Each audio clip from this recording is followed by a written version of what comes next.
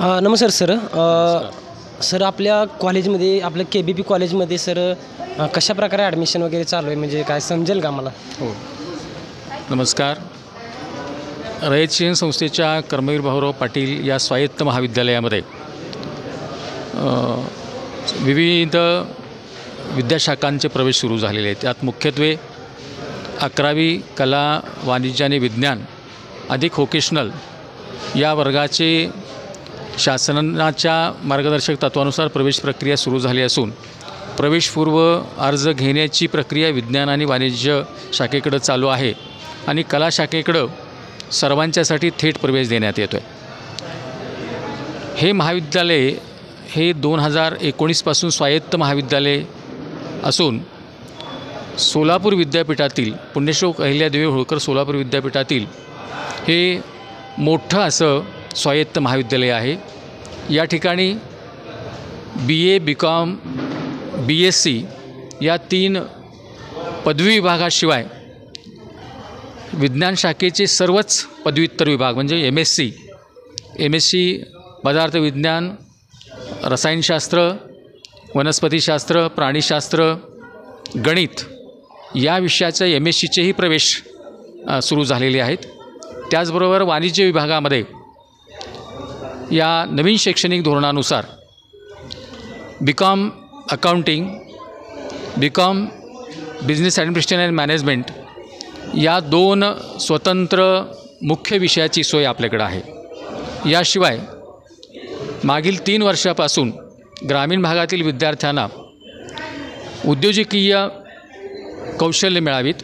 ग्रामीण भागामध्ये स्वयंरोजगाराची निर्मिती व्हावी.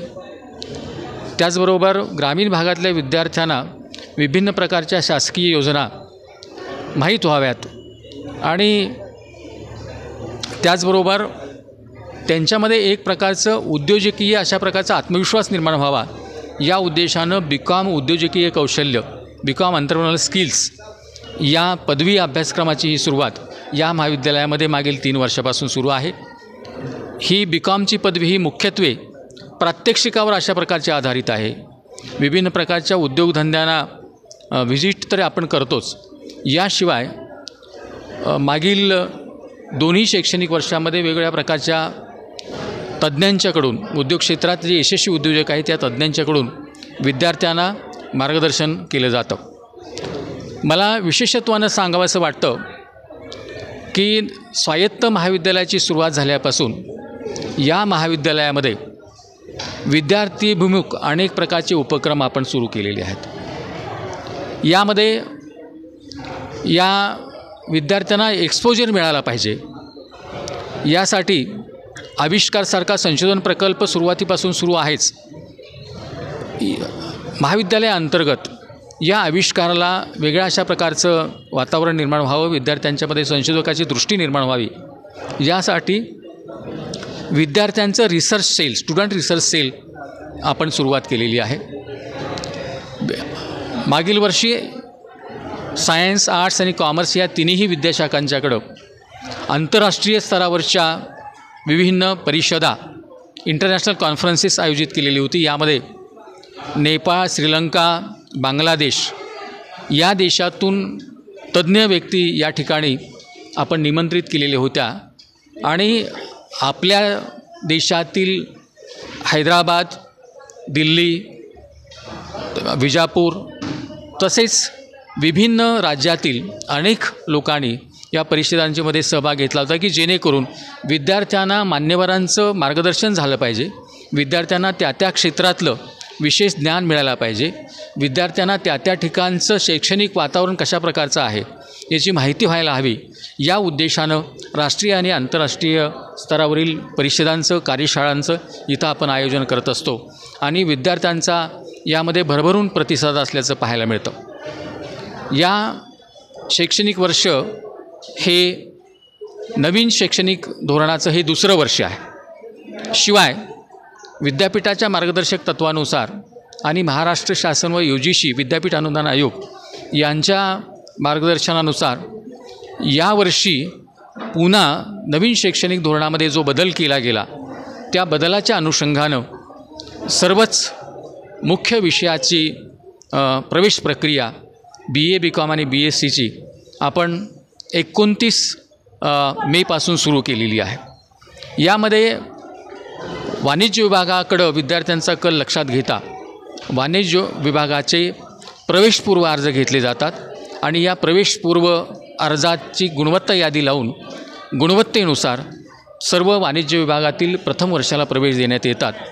व- सध्या वाणिज्य विभागासाठी पहिल्या वर्षाला जेव्हा विद्यार्थी येतो आहे तेव्हा त्याला तीन प्रमुख विषय हे निवडावे लागतील.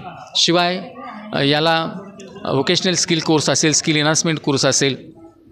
त्याचबरोबर ॲबिलिटी एनहान्समेंट कोर्स आहे. त्याचबरोबर आपल्याला इंडियन नॉलेज सिस्टीम म्हणजे आपल्या देशाला फार मोठी अशा प्रकारची परंपरा आहे.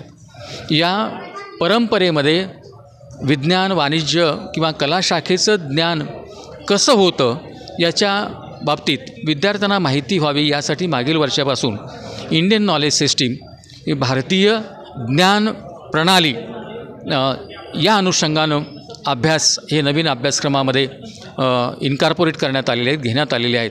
आणि त्यानुसार ही प्रवेश प्रक्रिया सुरू अस आहे.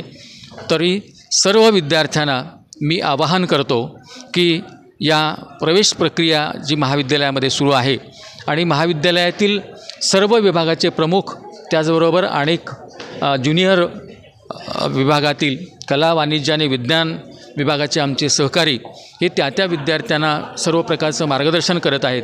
त्यांनी त्या मार्गदर्शनाचा लाभ घेऊन आपलं भविष्य स्वयंरोजगार आणि रोजगाराच्या दृष्टिकोनातून सेक्युअर करावं असं मी महाविद्यालयाच्या वतीनं सर्वांना आवाहन करतो. थँक्यू सर नमस्कार सर. सर आपले तुम्ही आपलं इथं पोस्टिंग म्हणजे कॉलेजमध्ये आपण काय करता सर? म्हणजे आपण कोण आहे? तरी आज डिटेल्समध्ये सांगू शकता का मला? मी ह्या महाविद्यालयामध्ये मी रयत संस्थेमध्ये गेली एकतीस वर्ष नोकरी करतो आहे या महाविद्यालयामध्ये दोन हजार पंधरापासून आलो. गेल्या पाच वर्षापासून वाणिज्य विभागाचा प्रमुख उपप्राचार्य आणि स्वायत्त महाविद्यालयाचा अधिष्ठाता त्या श विद्याशाखेचा या पदावर मी कार्यरत आहे. आणि विद्यार्थ्यांना विभिन्न प्रकारच्या विषयाचं मार्गदर्शन त्यांच्यामध्ये संशोधक दृष्टी निर्माण व्हावी. याशिवाय हा आपल्याकडे येणारा जो विद्यार्थी वर्ग आहे तो ग्रामीण भागातली विद्यार्थी आहेत. या ग्रामीण भागामध्ये पोटेन्शियल खूप चांगलं आहे. प्रयत्न करण्याची कुवत विद्यार्थ्यांच्याकडे खूप मोठी आहे. कष्ट करण्याची सुद्धा फार मोठ्या प्रमाणामध्ये त्यांची तयारी असते. पण त्यांना एक वेगळ्या अशा प्रकारचा ट्रॅक मिळणं गरजेचं आहे. आणि तशा प्रकारची दिशा देण्याचं काम महाविद्यालयाचे प्राचार्य माननीय डॉक्टर खिलारे साहेब यांच्या मार्गदर्शनाखाली या महाविद्यालयामध्ये सर्वच विद्याशाखामध्ये सुरू असतं. सर इथं म्हणजे हॉस्टेलची सोय वगैरे आहे का? बाहेरच्या विद्यार्थ्यांना हॉस्टेलची सोय आहे का सर? आहे. महाविद्यालयामध्ये विद्यार्थिनीसाठी दोन स्वतंत्र वसतिगृह आहेत आणि विद्यार्थ्यासाठी एका वसतिगृहाची सोय आहे. महाविद्यालयामध्ये मुख्यत्वे सायन्स विभागाकडं अकरावी बारावी सायन्स आणि या सिनियर महाविद्यालयातील पी जीपर्यंतच्या अनेक विद्यार्थिनी वसतिगृहामध्ये प्रवेश घेत असतात. प्रवेश घेत असताना मुलींची गर्दी होते अशा वेळेला ज्या विद्यार्थ्यांना आणि विद्यार्थिनींना प्रवासाच्या सोयीसुविधा सहजपणे उपलब्ध होत नाहीत त्यांना प्राधान्यक्रमाने इथं प्रवेश दिला जातो. आणि त्यामुळं सर्वांनाच जरी प्रवेश देणं शक्य नसलं तरी बहुतेक विद्यार्थिनींची गरज ही दोन्ही वसतिगृहाच्या बाबतीमध्ये द्वारे आणि विद्यार्थी वसतिगृहाद्वारे ही पूर्ण केली जात असते. ठीक आहे सर सर दुसरी गोष्ट इथं म्हणजे ग्रंथालय कशा म्हणजे आहे म्हणजे आहे कशा ग्रंथालय हे आपल्याकडं खूप मोठं ग्र ग्रंथालय आहे. कर्मवीर भाऊराव पाटील अ, हे रयत शिक्षण संस्थेचे संस्थापक आहेत. त्यांच्या नावानं कर्मवीर ग्रंथालय आपण सुरू केलं आहे जिथं अ, विभिन्न प्रकारचं मोठं कलेक्शन आहे. अ, कनिष्ठ महाविद्यालयाची वेगळी पुस्तकं असतात सिनियर महाविद्यालयाची वेगळी आहेत पी जी सेक्शनसाठी वेगळी आपण बुक्स बुक्स घेतो आहे त्याचबरोबर आपल्याकडे एक एक महत्त्वाचा कोर्स आपण सुरू कर केलेला आहे गेल्या तीन चार वर्षामध्ये.